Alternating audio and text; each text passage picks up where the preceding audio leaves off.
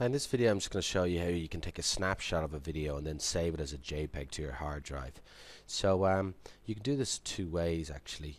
Uh, the first way is in the mixing screen here.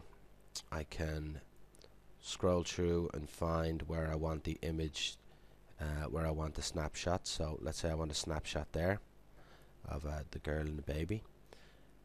Once I'm happy with that, what it's in, what, what the image that's in the video output screen, I can just click on the Take a Snapshot button. And once I click on this button, you'll see the Save icon beside it has become live. Um, so once I've clicked on the Take the Snapshot, then I'll click on the Save button.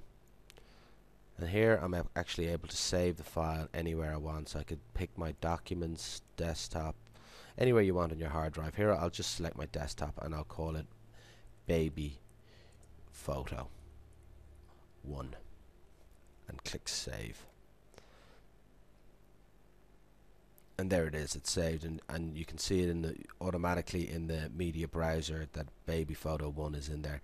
Now I can actually then view that in my default player which I'm using Picasa and click on play default player and you'll see the image comes up in Picasa. Now you'll see it's only 320 by 240 because that in the mixing screen that's what's displayed in the video output screen until uh, it is outputted in the target frame size. So you might want it bigger so uh, you might want to actually in the um, in the size that the video is created in because this video is a 1280 by 720 video so what I can do is I can click on uh, the right click on the file and select view in view file in browser. And there we go. The file is then shown and grayed in the media browser. And uh, what I can do is I can just right click on it and select play. And then I can just use the controls to go to a certain area if I know it is there but I'll just click on play. And there I can actually just go back click play and click stop so now let's say I want to take an image of this now. When the file is played in the media browser and in the video output screen it shows it um, without any compression. It shows exactly the way it's played. So um, here I'll just take an image. I'll just maybe just go back a little bit. Click play.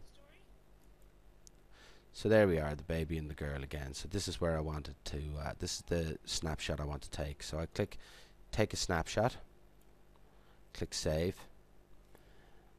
And then I'll click call, call it baby original size. And click save.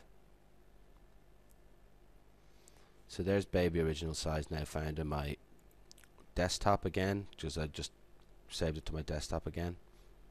And then when I click play in default player you'll see the image is now the exact size it was created in so that's two ways you can do it. You can do it through the media browser to get the original size photo or you can get it at 320 by 240 by playing it in the mixing screen.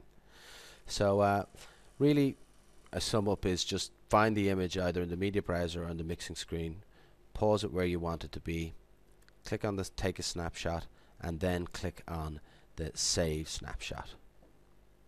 So if I just save that again quickly, baby 2